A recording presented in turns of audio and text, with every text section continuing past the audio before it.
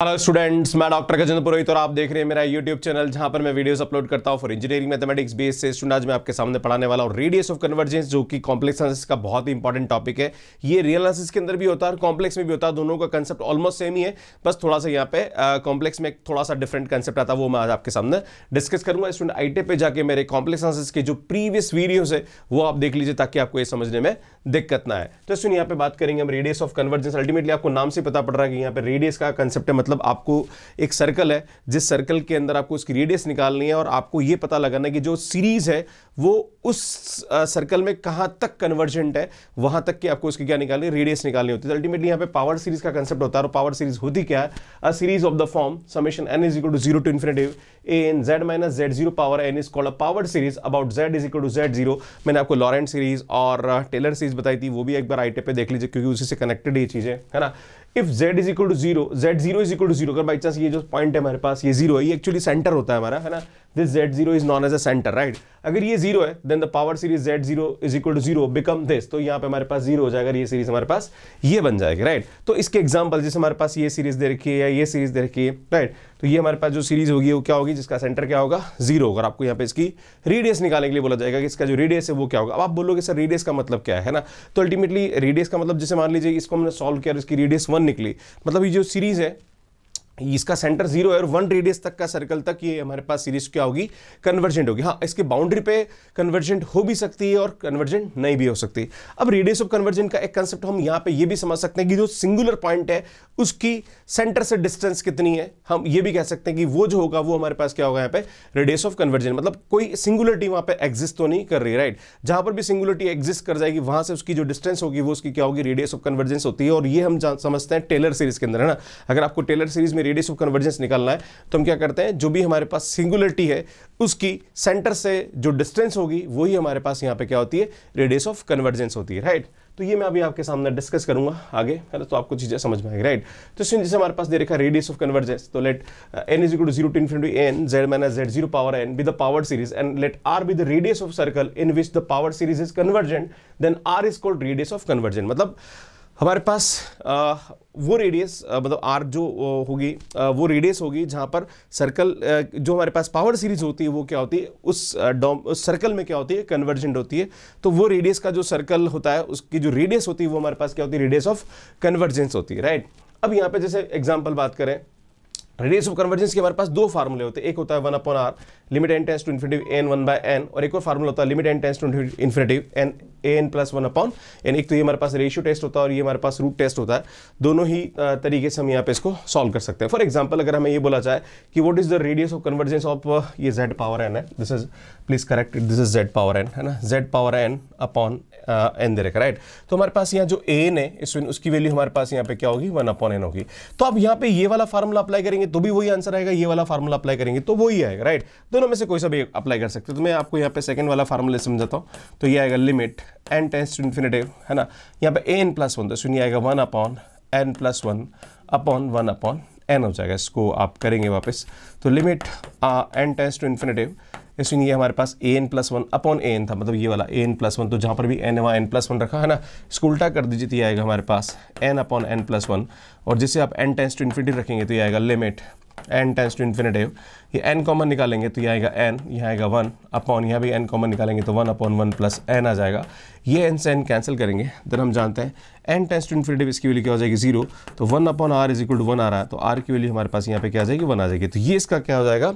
Radius of convergence हो जाएगा right तो इस तरह से यहाँ पे इसकी हम वैल्यू निकालते हैं। स्टूडेंट्स का जो सेंटर है वो हमारे पास क्या है? ज़ीरो है राइट क्योंकि z z n z minus z zero होता है राइट तो वहाँ पे ज़ीरो हमारे पास सेंटर राइट तो आगे बताऊँगा आपको सर्कल ऑफ़ कन्वर्जेंस क्या होता है? ये देखिए circle of convergence right so summation n is equal to zero to infinity n z minus z zero power n with the series power series and r with the radius of convergence then ये जो are होता है, इसको हम यहाँ लिखते हैं, और z minus z zero less than r is called a circle of convergence for example ये जो प्रीवियस क्वेश्चन था अभी हमने निकाला था कि इसकी जो रेडियस ऑफ़ कन्वर्जेंस आई थी, वो हमारे पास क्या आई थी?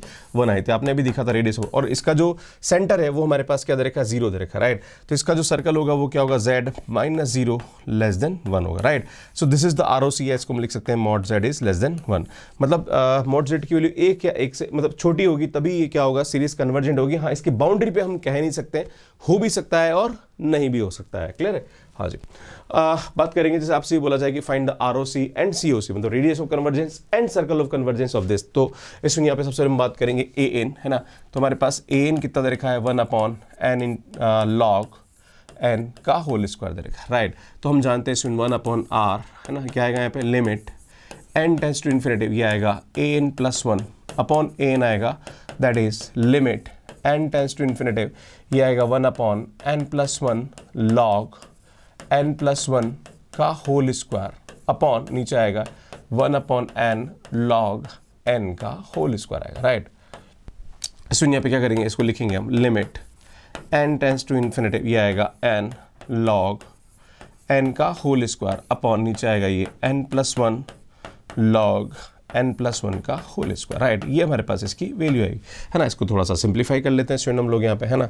तो क्या आएगा स्टूडेंट यहाँ पे? Limit n tends to infinitive right मैं क्या करता हूँ यहाँ पे एन कॉमन निकाल लेता हूँ राइट एन कॉमन निकालेंगे तो ये आएगा one upon one plus one by n आ जाएगा है ना? ये तो ये आ जाएगा है ना?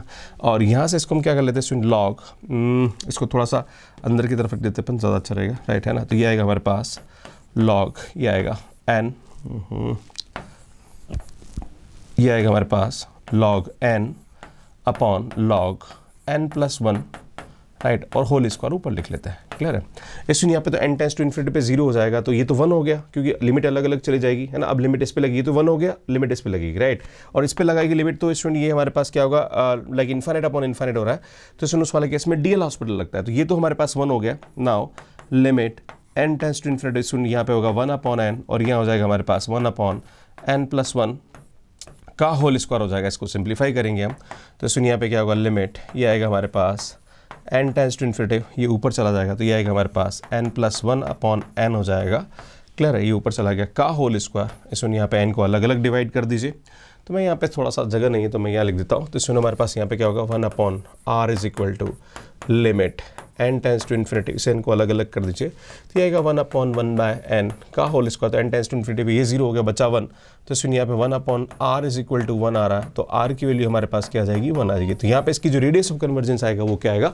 वन आएगा। अब हमारे पास जो सेंटर आ रहा है, वो क्या आ रहा है? ज़ीरो आ रहा है। तो इसमें हमारे पास क्या होता है? Z minus c is less than r होता है। तो सेंटर इसके पास ज़ीरो है।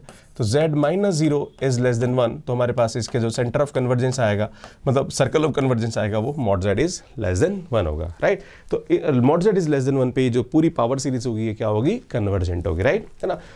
ठीक है तो इस तरह से आप इसको हम सॉल्व करते हैं। So this is the concept आगे बढ़ेंगे, सुनिए जैसे एग्जांपल दे रखा है आपके पास कि the circle of convergence of this तो कैसे निकालेंगे? तो सुनिए यहाँ पे जो भी जेड एन का कॉफिशन होता है, वो हमारे पास ए एन होता है। तो ए एन हमारे पास कितना रहेगा सुनिए, यहाँ पे one upon two power n plus one तो हम यहाँ पे वन वन अपॉन आर, ये आएगा हमारे पास limit. N tends to infinitive a n plus one upon a n होता है, देन यहाँ लिखेंगे हम limit. N tends to infinitive यह आएगा एन प्लस वन तो यह आएगा one upon two power n plus one plus one upon one upon two power n plus one, right? ये आएगा हमारे पास, ये ए एन प्लस वन है, ये ए एन राइट? इसको उल्टा कर दीजिए।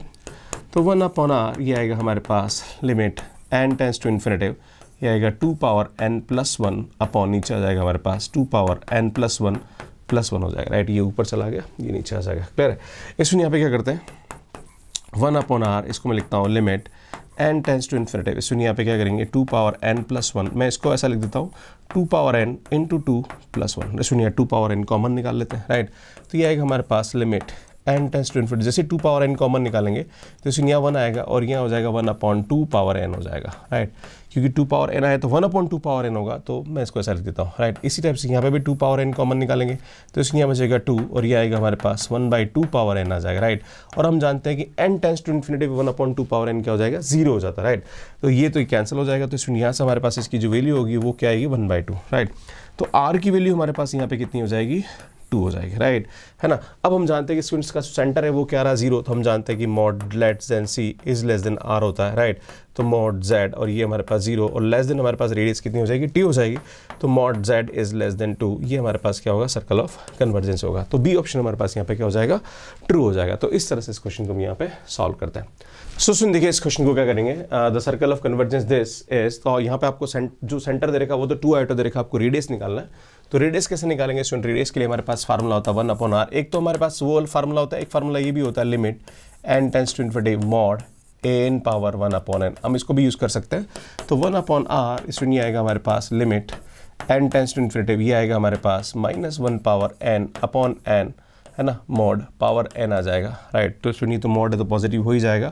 और वन अपॉन आर लिमिट इसमें रेडियस वैसे भी हमेशा पॉजिटिव ही होती है.